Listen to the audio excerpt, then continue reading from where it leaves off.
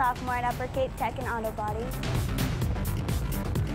I worked with my dad on cars kind of as I grew up, and I don't know, it just piques my interest, and I'm very artistic, so I like to do the art aspects of it. We were assigned a hood, and uh, we had to do body work on it, we had to spray it. We could come up with any design that we wanted, and yeah, we had to like trace it out on different paper, and we could cut it out, and that's how you do it. I'm really into like tribal art, so that's where my tiger, it's kind of like a tribal-based design. And then I just thought that it'd be cool to put the claw marks going through the hood. So I added detail with airbrush and put red around it, so it really brought it alive. We drew this, and then Mr. Catino printed it on a computer paper, and then we traced um, the design from the overhead onto the tape, and it looked like this, pretty much.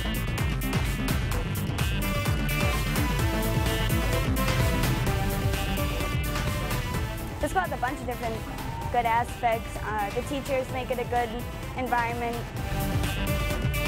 My name is Robert Palanza, and I teach collision repair.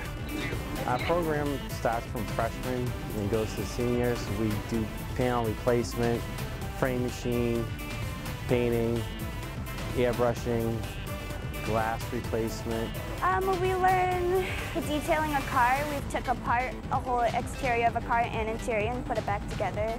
We've learned how to uh, change tires and um, suspension, check oil, stuff like that. They can do any trade that's out there, no matter if it's like painting and decorating, so they can use their painting skills to do painting. Um, the mechanical side, taking things apart, can assemble different varieties of things by looking at either pictures or from taking it apart, putting it back together. Um, welding, so they can be a welder because they do welding here in shop.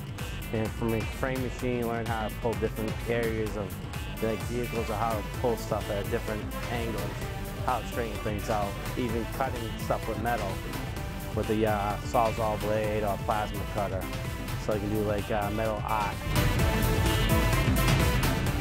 All the metal panels that are hanging from the ceilings from my partner Gabe Catino. He does it with the sophomores and the kids learn how to do metal refinishing. So they learn how to put like an etch primer and make a dent and then they learn how to fix the filler. They prime it, seal it, and paint it. So it's all different stages of metal working, metal refinishing, and painting. We have um, advisory program here at school and we have some of our past graduates on our advisory board that work in the trade. So we have one that works in Plymouth. We have another student that's in NASCAR. They graduate, graduated from our shop, he's from Wareham. He did the Red Sox, paints NASCARs, and he does the driver's helmets down there in NASCAR. He puts all the graphic designs and so forth. So we have a few students that come back, and some of them still work locally. Next year is working on live jobs. People come in and bring their cars, you get to fix them, paint them. The people live in towns that support the school through the five districts. So if you smash up your car or get it done or whatever, we bring it here, we give you an estimate on it, what it costs to fix. Might take a little bit longer for us to fix it, but it's a lot cheaper than outside. My parents wanted me to go towards cosmetology, and then when they found out that I chose auto body, they're kind of shocked. Yeah, I enjoy. I'm glad I picked this up. I also designed a fender, so I chose a design that I would like to go with the body of the shape of the fender. So I chose a dragon with flames, and I made my own colors with it in my design. My favorite memory is probably finishing my fender and finishing my hood. I feel like I did a really good job with it, and it came out well.